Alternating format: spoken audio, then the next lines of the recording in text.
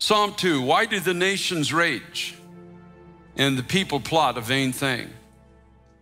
The kings of the earth set themselves, and the rulers take counsel together against the Lord and against his anointed. Now, that's exactly where we are living today. Rulers and leaders are taking counsel together. The counsel, the direction they're heading in is against Christ and against those who are called by his name. And they're saying, Let us break their bonds in pieces and cast away their cords from us. So here's, here's what we are facing today we're facing a, a godlessness that has gotten into some measure. It's never an ultimate authority because God's in ultimate authority. But this godlessness has gotten a hold of many in leadership positions, whether it's in corporations or schools or government, wherever it is. And the ultimate goal is to take away the restrictions on behavior that the presence of God implies in society, in people, in families, in homes.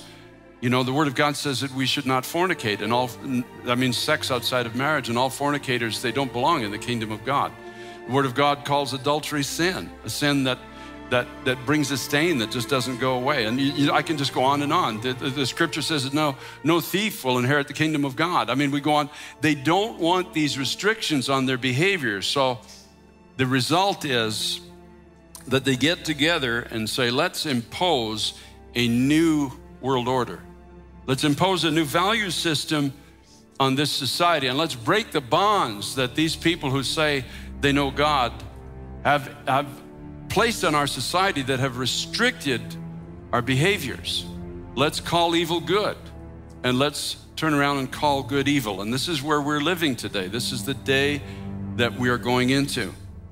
Now, listen to God's response to this He who sits in the heavens shall laugh, the Lord shall hold them in derision. In other words, he, he will let them go into confusion. And who can debate but that we are in confusion in America today?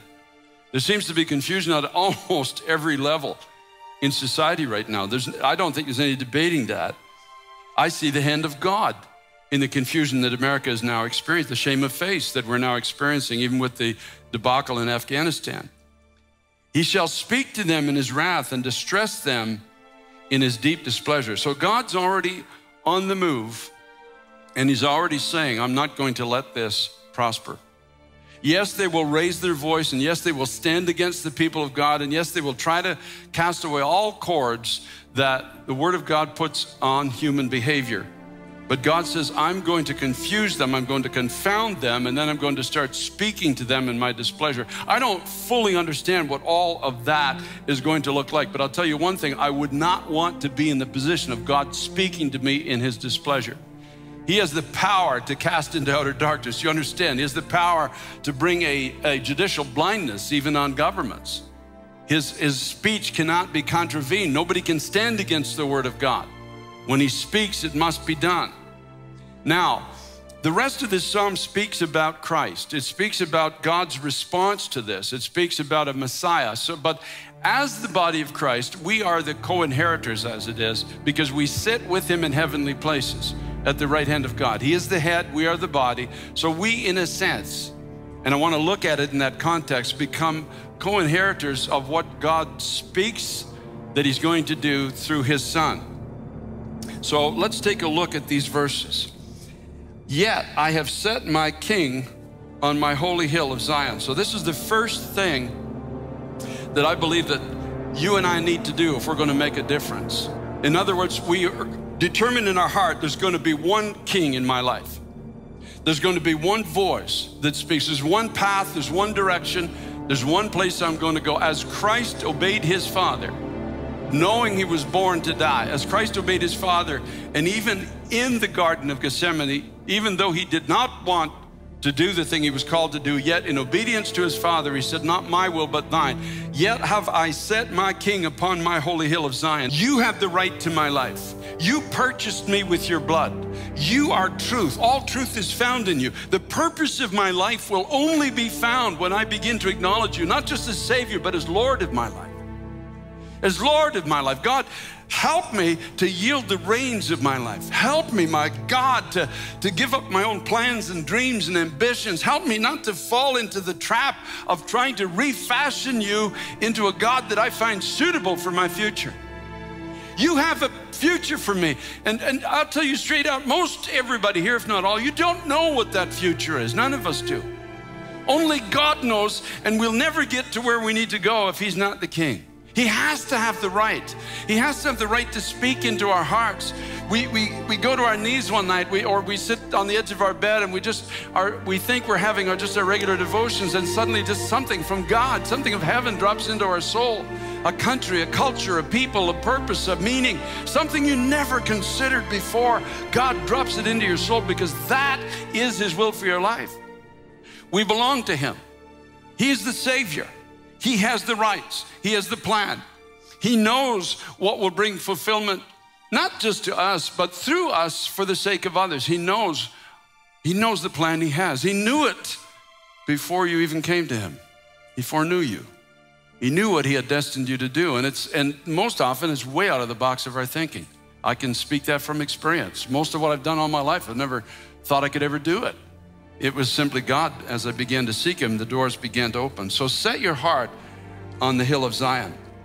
Verse 7, he says, I will declare the decree. The Lord has said to me, You are my son. Today I have begotten you. I will declare the decree. This is point number two.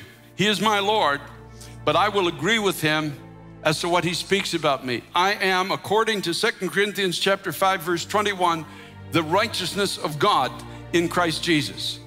Now, that would be blasphemous if it weren't true, if it weren't written in the Bible. In other words, I'm as clean as God is in Christ Jesus. So I'm not going to live my whole year listening to the voice of the condemner. Do you understand?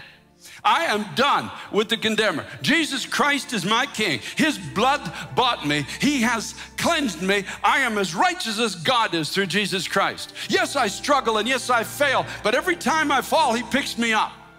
He carries me forward because He has a divine plan for my life. And I am not going to live under the voice of the condemner. I am a child of God.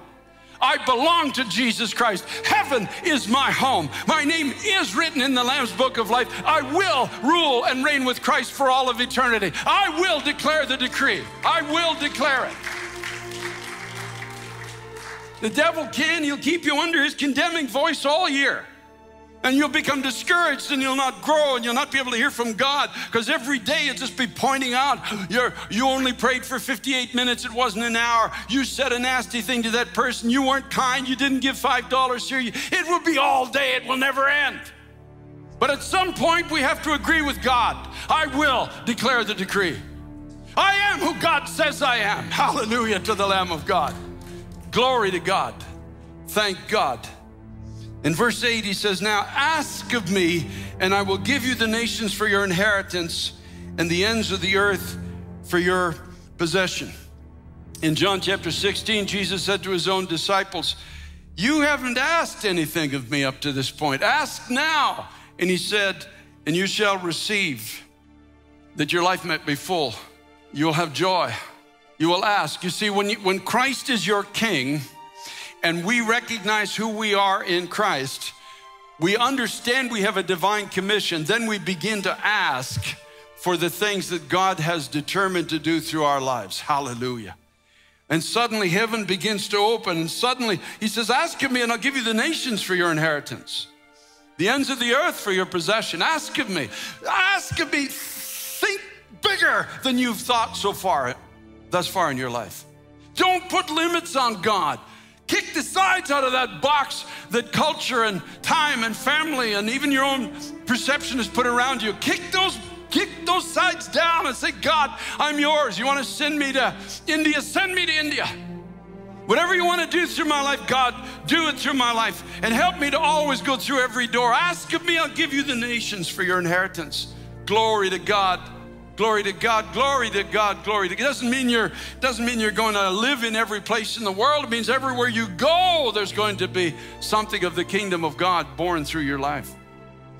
Verse 9, he says, You shall break them with a rod of iron and dash them to pieces like a potter's vessel. In other words, God says, I am going to give you spiritual authority everywhere you go because you know who I am, you know who you are, you know the meaning of your life, you know your purpose. In 2 Corinthians chapter 10, in verse 4, Paul says, The weapons of our warfare are not carnal, but mighty in God for pulling down strongholds, casting down arguments and every high thing that exalts itself against the knowledge of God, and bringing every thought into captivity to the obedience of Christ and being ready to punish all disobedience when your obedience is fulfilled. Being ready, being ready to stand, being ready to go into the fire, being ready to say to any heathen king, if if if God can, God can deliver me if he wants to, but even if he doesn't, I trust him and I believe that there's a divine purpose to it. I'm not bending my knee to the gods of this generation, but I'm bringing the God of this universe into this situation. And I'm gonna pray, and I'm gonna speak, and I'm gonna stand, and I'm gonna believe. As the scripture says, the weapons of my warfare are not carnal, but they're mighty in God to the pulling down of strongholds, casting down imaginations and every high thing that exalts itself against the knowledge of God. And I'm not interested in the other Jesus of those who choose to take another path.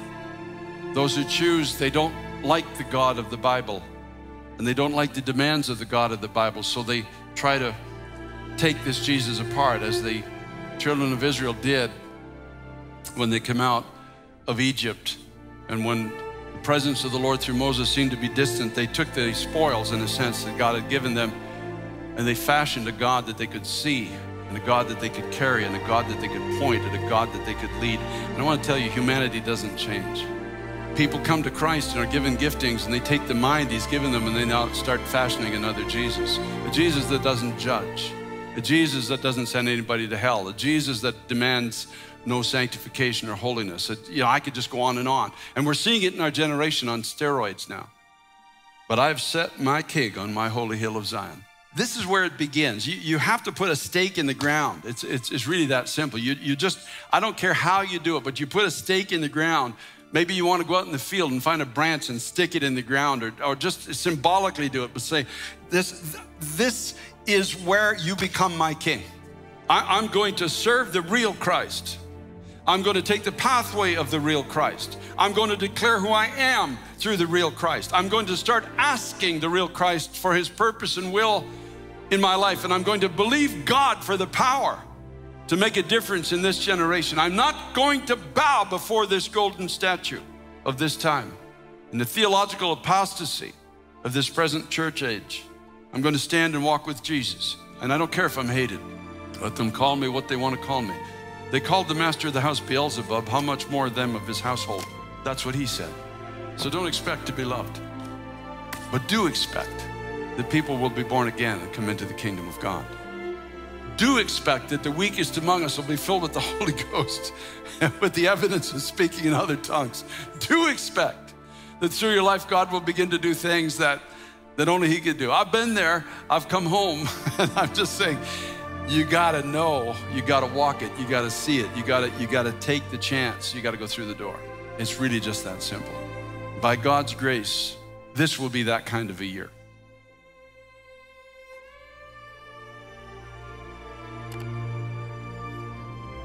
I am Alpha and Omega, the beginning and the end, saith the Lord, which is, and which was, and which is to come, the Almighty.